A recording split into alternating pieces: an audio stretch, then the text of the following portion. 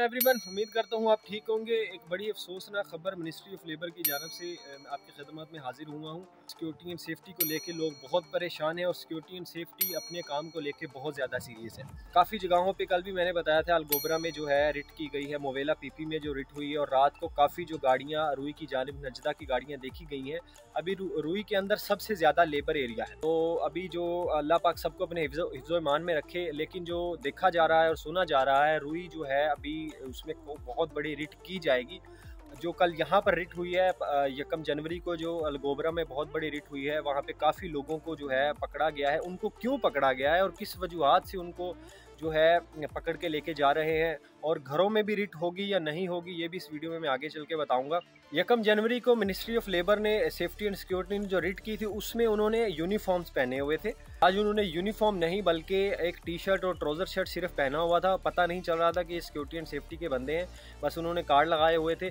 कहाँ पर रिट की जा रही हैं? जो लोग यहाँ पे जिनके डॉक्यूमेंट्स क्लियर नहीं है, जिनके पताके के ओवर स्टे है, मैं इसमें आपको बात बताता हूँ। अगर आपका यहाँ का कार्ड रेजिडेंशियल कार्ड आपका वीज़ा ख़त्म हो चुका है तो आपको मतलब कि दो साल का वीज़ा है तो दो साल एक महीना ऊपर दिया जाता है तो उस एक महीने में आप आउट हो जाएँ।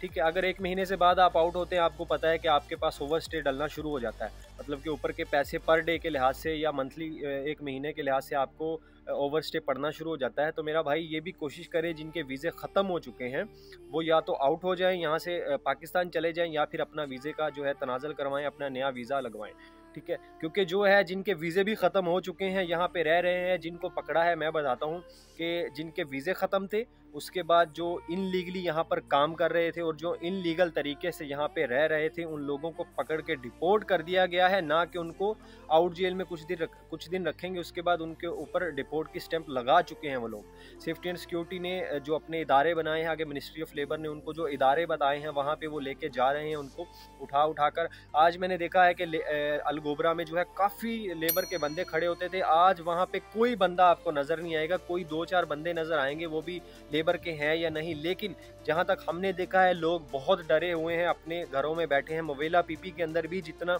बड़ा लेबर एरिया था, सारे जो है अपने घरों के अंदर डर डर के मारे बैठे हुए हैं।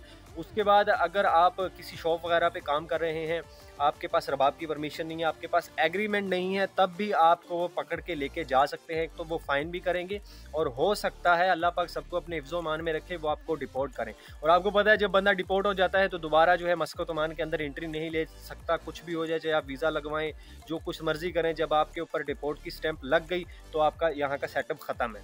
तो इस चीज़ों से परहेज़ करें। घरों का क्या सिस्टम है? घरों में भी जो लेबर तबके के बंदे हैं लेबर सोसाइटी में रह रहे हैं लेबर एरिया में रह रहे हैं, उनके पास अथॉरिटी है, जैसे लेबर कोड घरों में आके रूम्स के अंदर आके चेक करती थी आपके पताके और आईडी कार्ड। इस तरह सेफ्टी एंड सिक्योरिटी के बंदे भी विदाउट परमिशन विदाउट इंफॉर्मेशन आपको जो है पकड़ सकती है, आपके घर के अंदर भी छापा डाल सकती है वो, आपके, आपको घर के अंदर भी आके पकड़ सकती है सेफ्टी एंड सिक्योरिटी तो आज़ाद वीज़े पे हैं, उनके लिए इशू है, जो कंपनी के बंदे हैं, उनके लिए कोई इशू नहीं है, जिनके सेम सेम वीज़े हैं और वो सेम सेम अपने रबाब के साथ काम कर रहे हैं, उनके लिए कोई इशू नहीं है और जो भाई यहाँ पर सेम सेम वीज़े पे नहीं है और बग़ैर परमिशन लेटर के, बग़ैर रबाब की परमिशन के, बग़ैर एग्रीमेंट बग़ैर एनओसी लेटर ठीक है, ये इस सब बातों का एक ही मतलब है कि बग़ैर एग्रीमेंट के जो लोग यहाँ पर दूसरी शॉप्स में काम कर रहे हैं, उनके रबाब को भी और उनको भी फ़ाइन किया जाएगा।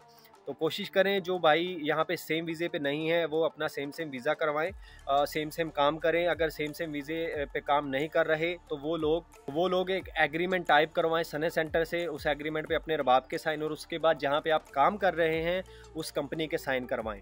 तो जो है, आप फ़ाइन से बच सकते हैं और ऐसे मामला से बच सकते हैं। यहाँ पर जितने भी लोगों को उठाया गया है, उनके पताके नहीं थे ओवर स्टे था, उन्होंने वीज़ा रिन्यू नहीं करवाया था, इन मामला से उनको उठाया गया है और काफ़ी लोगों को फाइन किए गए और काफ़ी लोगों को जो है, जो इनलीगली थे, उनको डिपोर्ट भी किया गया है।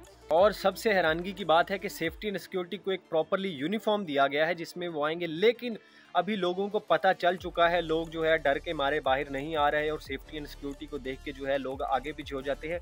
अभी वो है, एक नॉर्मल जो है कैजुअल जो टी शर्ट है, वो टी शर्ट या ट्राउज़र उन्होंने पहने हुए हैं और जो है लोगों को पकड़ रहे हैं।